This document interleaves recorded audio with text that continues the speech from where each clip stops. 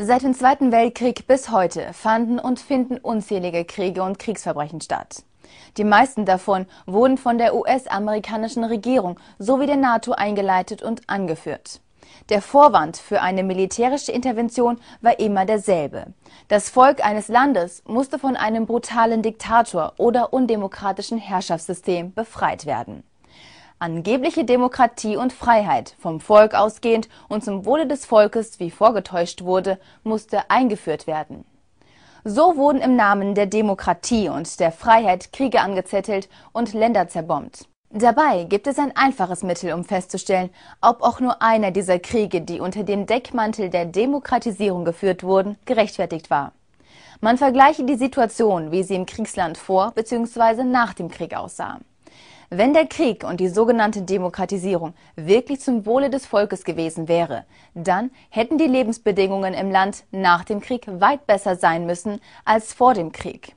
Mit anderen Worten, die Lebensbedingungen im Land dürfen nach dem Krieg nicht schlimmer sein, als sie vor dem Krieg unter dem angeblichen Diktator waren. Ansonsten ist ein Krieg als völkerrechtswidrig zu verurteilen.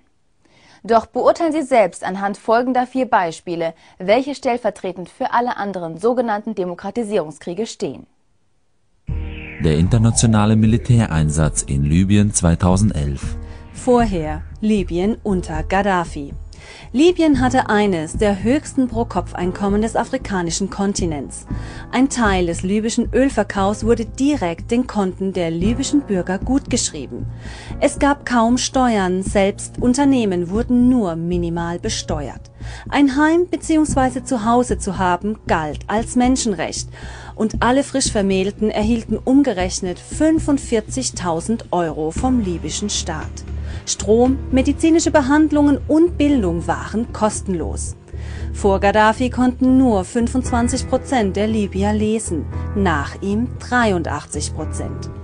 Den Frauen ermöglichte Gaddafi in den 1970er Jahren die Emanzipation. Es war keine spezielle Kleidung vorgeschrieben und allen Frauen standen hochwertige Ausbildungswege zur Verfügung, wenn sie das wollten. Es gab Ärztinnen, Anwältinnen, Ministerinnen, Geschäftsfrauen oder auch normale Hausfrauen, was immer sie werden wollten. Gaddafi plante die Errichtung einer Bank und die Einführung einer goldgestützten Währung für Afrika, mit deren Gründung Libyen ganz Afrika in die Freiheit geführt hätte. In die Freiheit von den Finanzeliten und Imperialisten, die die armen Länder und deren Besitz kontrollieren.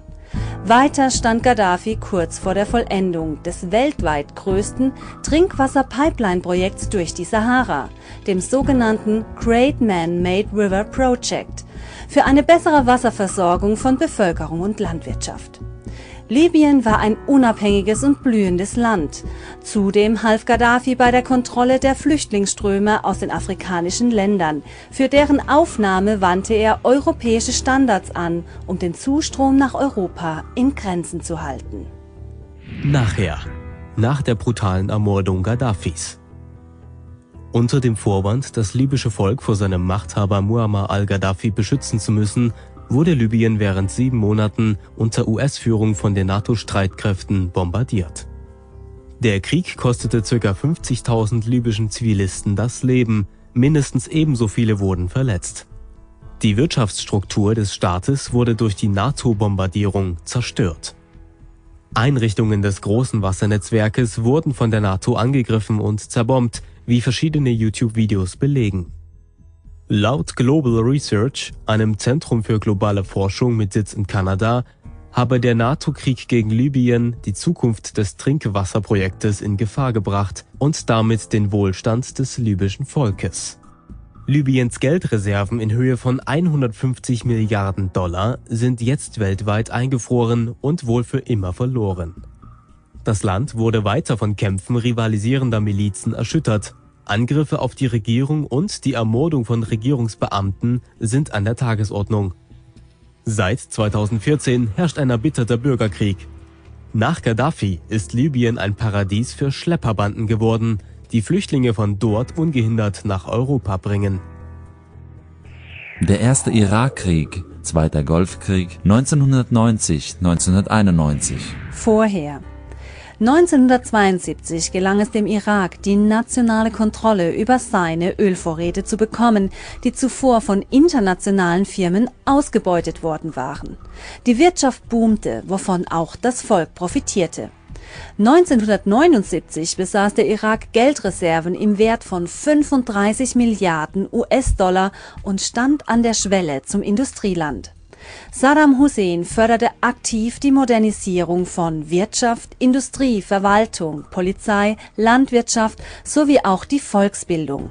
Vor 1990 stieg die Alphabetisierungsrate bei Mädchen auf über 90 Prozent. Durch die Exporterlöse aus dem Erdölverkauf wurde unter anderem ein umfassendes irakisches Gesundheitssystem aufgebaut, das bis zu Beginn der 1990er Jahre als das Beste der arabischen Welt galt. Der Irak war ein aufstrebendes Land. Nachher. Nachdem Saddam Hussein wegen eines Konflikts um Ölfelder Kuwait besetzen ließ, wurde die irakische Armee durch eine von den USA geführte Koalition fast vollständig geschlagen. Zur Rechtfertigung des Krieges wurden zuvor einige, später als Fälschungen entlarvte, Gräuelberichte über die Massenmedien in die Welt gesetzt. Darunter die sogenannte Brutkastenlüge. Mindestens 120.000 irakische Soldaten und bis 55.000 Zivilisten kamen ums Leben. Die Langzeitschäden durch Geschosse aus abgereicherten Uran waren verheerend. Seit 1991 sind rund 1,5 Millionen Iraker, darunter über 55.000 Kinder unter fünf Jahren, an den Folgen der über den Irak verhängten Wirtschaftssanktionen gestorben. Der Fluss Tigris war durch die Zerstörung der Kläranlagen zu einer offenen Kloake geworden. Von 1990 bis 2003 verhinderten die USA den Import von Pumpen und Chlor zur Aufbereitung des Wassers. In Folge stieg die Säuglingssterblichkeit 1990 bis 1997 von 3,3 auf 12,5 Prozent. Der Zweite Irakkrieg, Dritter Golfkrieg, 2003 Mit der Begründung, Saddam Hussein würde Massenvernichtungswaffen besitzen und mit Al-Qaida zusammenarbeiten, marschierten Truppen der Vereinigten Staaten und deren Verbündete am 20. März 2003 in den Irak ein. Beide Vorwürfe wurden nachträglich durch den Geheimdienstausschuss des US-Senates widerlegt. Bis 2006 starben gemäß der unabhängigen Lancet-Studie 600.000 Zivilisten. Das sind 90 Prozent aller Opfer. Allein während des dreiwöchigen Einsatzes 2003 wurden von den USA zwischen 1000 und 2000 Tonnen Uranmunition eingesetzt.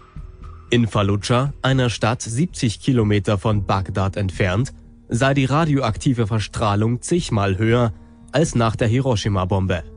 Seither wird eine zunehmende Anzahl schrecklich deformierter Babys geboren. Ohne Köpfe, mit zwei Köpfen oder fehlenden Gliedern.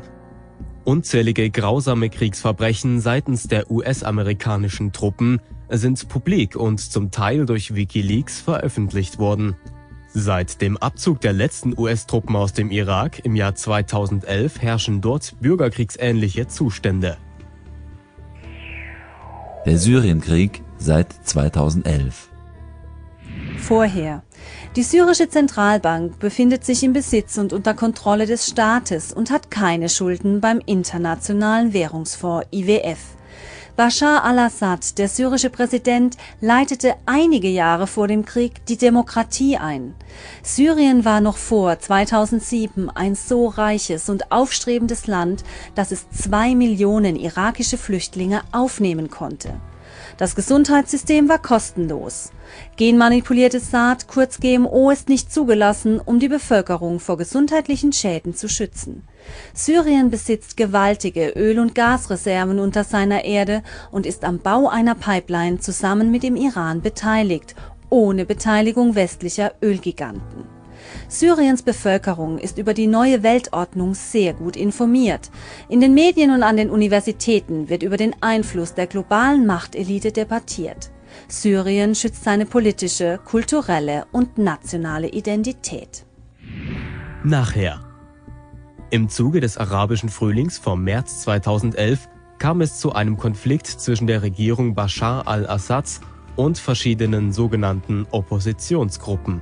Kurz darauf kamen schwer bewaffnete Gruppen ins Land und griffen in den Bürgerkrieg gegen Assad ein. Gemäß neuesten Zahlen der Vereinten Nationen wurden bisher mehr als 250.000 Menschen getötet. Ohne Dunkelziffer. Ein Drittel davon seien zivile Opfer. Mehr als 3,8 Millionen Syrer flohen bisher ins Ausland, über die Hälfte davon Kinder.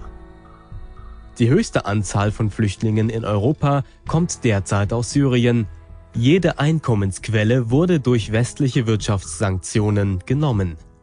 Exporte von Treibstoff, Erdöl und Technik wurden verboten, Importgüter wie Weizen werden knapp und damit mangelt es an Brot. Lebensmittel sind doppelt so teuer wie vor dem Krieg. Dies sei, laut Joshua Landis, Professor an der Universität von Oklahoma, unter anderem die Strategie der USA, um die Syrer zu schwächen und zur Kapitulation zu zwingen. Mittels der Behauptung, Syrien hätte Chemiewaffen eingesetzt, versuchen die USA mit den NATO-Staaten in den Krieg einzutreten, jedoch konnten keine Chemiewaffen nachgewiesen werden. Der Krieg in der Ukraine seit 2014. Vorher. Vor dem Krieg war die Ukraine als ein neutrales Land im Ost-West-Konflikt eine Brücke zwischen Russland und der EU. Eine NATO-Mitgliedschaft war nicht geplant. Durch das Abkommen von Krakow im April 2010, welches die Stationierung der russischen Schwarzmeerflotte auf der Krim bis mindestens 2042 erlaubte, bekam die Ukraine russisches Erdgas zu Rabattpreisen. Brzezinski, ehemaliger Sicherheitsberater von Jimmy Carter, beschreibt die Ukraine als das Herzland der Weltinsel, das meint Eurasien. Wer die Ukraine beherrscht, herrscht über die Weltinsel und somit über die Welt. Nachher. Nach der verfassungswidrigen Entmachtung von Präsident Viktor Janukowitsch am 22.02.2014 in Kiew schickte die neue Regierung Truppen gegen die östlichen Gebiete Donetsk und Lugansk. Diese hatten den Machtwechsel nicht anerkannt und unabhängige Volksrepubliken ausgerufen. Victoria Newland, Stellvertreterin des US-Außenministers, bezeugte ungewollt in einem abgehörten Telefongespräch, dass die USA 5 Milliarden Dollar investiert haben, um in der Ukraine eine neue Regierung unter US-amerikanischer Führung an die Macht zu bringen. Rund 6000 Menschen wurden bisher getötet, ohne Dunkelziffer. 15.000 verletzt, fast 3 Millionen Menschen sind aus ihrer Heimat geflüchtet. Mehr als 150.000 haben laut dem UN-Flüchtlingswerk UNHCR in Russland Schutz gesucht. In der Ostukraine wird täglich geschossen, Häuser werden zerbombt, die technische Infrastruktur ist stark in Mitleidenschaft gezogen. In vielen Städten gibt es nur noch stundenweise Wasser und Strom, in manchen Städten nicht einmal mehr das. In der Ukraine hat sich der Lebensstandard seit der Absetzung Janukowitschs drastisch verschlechtert. Fast 80 Prozent der ukrainischen Bevölkerung lebt an der Armutsgrenze. Vor der Absetzung Janukowitschs betrug die Mindestrente umgerechnet um die 120 Euro im Monat, jetzt 40 Euro. Der Mindestlohn um die 90 Euro im Monat, jetzt 50 Euro. Der heutige Durchschnittslohn beträgt um die 120 Euro im Monat. Die Inflationsrate von 2010 bis 2013 betrug 3,5 Prozent. 2015 ist sie bereits 40 Prozent. Die Teuerungsrate der letzten zwei Jahre beträgt auf Verkehrsmittel 30 Prozent, auf Kraftstoff 200 Prozent, Lebensmittel sind um das Mehrfache teurer geworden, die Grundnahrungsmittel Brot, Grütze, Fleisch, Milch um 40 Prozent. Strom- und Gaspreise sind um 110 Prozent angestiegen. Ein weiterer Preisanstieg ist im Halbjahrestakt geplant. Ausländische Unternehmen weiten ihren Einfluss auf den ukrainischen Agrarsektor aus, so unter anderem Biotechnologieunternehmen wie Monsanto, Cargill und DuPont. Laut ukrainischen Parlamentsmitgliedern steht die Regierung in Kiew unter vollständiger Kontrolle der US-Regierung. Nun soll der Westen durch den Gesetzentwurf 2953 vom Mai 2015 in der Ukraine Atomwaffen stationieren dürfen. Die US-Regierung ist bereit, einen Krieg in Europa zu riskieren, um ihre militärische Präsenz und Vorherrschaft aufrecht zu erhalten. Laut diesen Fakten, vorher, nachher, lässt sich nur eine Schlussfolgerung ziehen. Kriege lassen sich kaum rechtfertigen und schon gar nicht unter dem Vorwand von Demokratie und Freiheit. Helfen Sie mittels breitflächiger Aufklärung mit, dass wir alle lernen, Lügen und Propaganda rechtzeitig zu durchschauen und einhellig zu sagen, nie wieder Krieg, da machen wir nicht mit.